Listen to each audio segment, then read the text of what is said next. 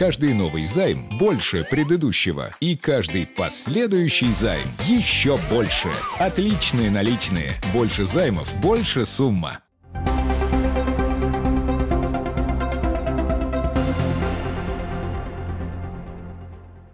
Россияне получили право приходить на выборы не на свой участок. На выборах президента 18 марта 2018 года можно будет проголосовать в другом избирательном участке.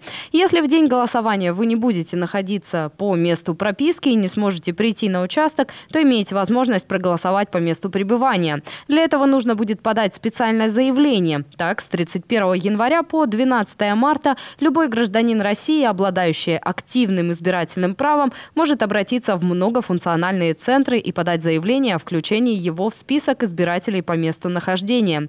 Именно поэтому для удобства граждан МФЦ Тувы организовала специальные окна, где осуществляется только прием заявления о включении в список избирателей. Естественный прирост населения Тувы в 2017 году составил 4228 человек. По информации органов управления ЗАГС Республики в 2017 году в Туве родилось 3688 мальчиков и 3353 девочки. Если рассмотреть анализ записей актов гражданского состояния всех новорожденных 2017 года, то 2586 детей появились в семьях, где родители состоят в законном браке. Остальные 4455 малышей или более 63% от общего числа родились у матерей не состоящих в браке. При этом в более 2600 случаях установлено отцовство. Еще в около 1900 записях информация об отце отсутствует или внесены со слов матери по заявлению. Стоит отметить, что около полутора миллионов рублей госпошлин поступило за установление отцовства в прошлом году. В общем, в 2017 году поступления составили 7,9 миллионов рублей, что на 222 тысячи больше, чем год назад. Основная доля приходится на пошлины за выдачу повторных свидетельств и за установление отцовства.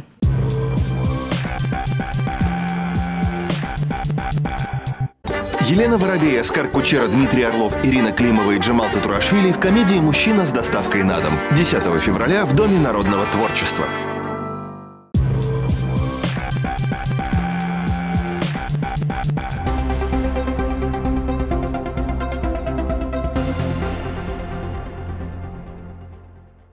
Сотрудниками полиции Тувы выявлена группа лиц, специализировавшаяся на кражах скота и последующем сбытии похищенного. В ходе проведения оперативно-розыскных мероприятий в рамках уголовного дела, возбужденного по части кражи с причинением значительного ущерба гражданину, были установлены пятеро мужчин, трое из которых ранее судимы, систематически совершавших хищение скота и поставку его мяса на рынок. Во время следственных мероприятий было установлено, что схема краж скота всегда была единой единой. Как правило, потерпевшие владельцы поголовий оставляли свой скот на пастбищах, фактически без присмотра, и данный факт был на руку скотокрадам. К условленному месту фигуранты подгоняли свои автомашины для транспортировки животных, отбивали от стада или табуна нескольких лошадей или коров и забивали их. В дальнейшем туши похищенных животных перевозились в укромные места. Мясо разделывалось и сбывалось перекупщицы. В нескольких случаях они заходили на территорию кошары и просто уводили за собой нескольких животных. Также при расследовании уголовного дела полицейскими установлена и задержана постоянная скупщица краденого мяса. Ею оказалась 55-летняя козылчанка, которая была осведомлена о том, чем промышляют мужчины. В отношении скупщицы возбуждено уголовное дело по части 1 статьи 175 Уголовного кодекса Российской Федерации «Приобретение или сбыт имущества заведомо добытого преступным путем». В настоящее время расследование уголовных дел продолжается, устанавливаются дополнительные эпизоды преступной деятельности подозреваемых, а также лица, которые могут быть причастны к совершению указанных преступлений.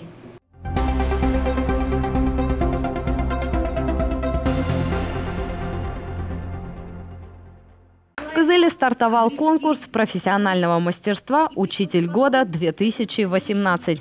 Сегодня в арт-центре Найсылал собрались преподаватели практически всех образовательных учреждений столицы. В этом году участники будут соревноваться в таких номинациях, как «Учитель года-2018», «Воспитатель года-2018», «Всероссийский мастер-класс учителей родного, включая русский языков 2018», «Лучший педагог-мужчина образовательного учреждения 2018», 2018 года. Педагог-психолог 2018, сердце отдаю детям 2018 года. Российская школа и наша школа нашей республики ждет интересных новаторских идей и ярких педагогов, которые обеспечивают конкурентоспособность отечественного образования. Именно от вас, учителей, во многом зависит то, какими вырастут наши дети. На открытии муниципального конкурса воспитанники городских школ поддержали участников конкурса песнями, танцами и стихами. Всем педагогам говорим спасибо за каждый миг, за каждый, каждый час. Не будем очень долго дифирамбы для вас петь. Только что это за слово надо где-то посмотреть. Конкурс «Учитель года» проводится ежегодно с целью выявления поддержки и поощрения талантливых педагогических работников, повышения престижа учительской профессии, распространения передового педагогического опыта. Признание и успех «Учитель года». Счастливый шанс для всех «Учитель года». Нелегкий труд и творчество свобода. Победы ждут. Вперед, учитель года!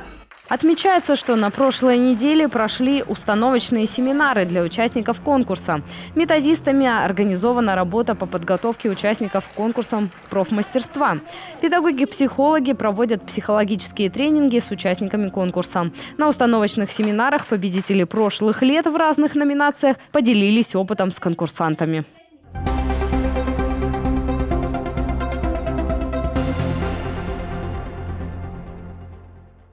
В многофункциональном центре Тувы проходят консультации врачей по таким направлениям, как запись на прием через портал госуслуг, профилактика инфекционных заболеваний и здорового образа жизни, сдача донорской крови, консультации против новообразований и другие. Сообщается на официальном сайте Министерства здравоохранения республики. Также врачи проверяют у населения артериальное давление и вес, проводят анкетирование по раннему выявлению рака.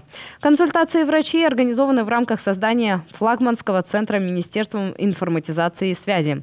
Работа такого центра позволит расширить перечень услуг, в том числе не относящихся к государственным и муниципальным. В Министерстве здравоохранения считают, что участие медицинских работников в этом проекте позволит увеличить охват населения по практическому информированию и действенной профилактике заболеваемости среди жителей республики.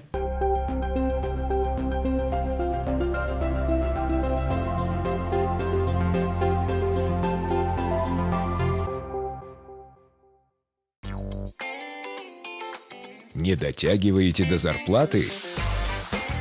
Дотянем! Отличные наличные займы до зарплаты. Спонсор выпуска прогноза погоды – «Отличные наличные». Надежный партнер с многолетним опытом стабильной работы. Компания «Отличные наличные» рада видеть вас в любом из своих офисов в более чем 80 городах России. От Камчатки до Калининграда. Переплата по займам такая маленькая, совсем малышка.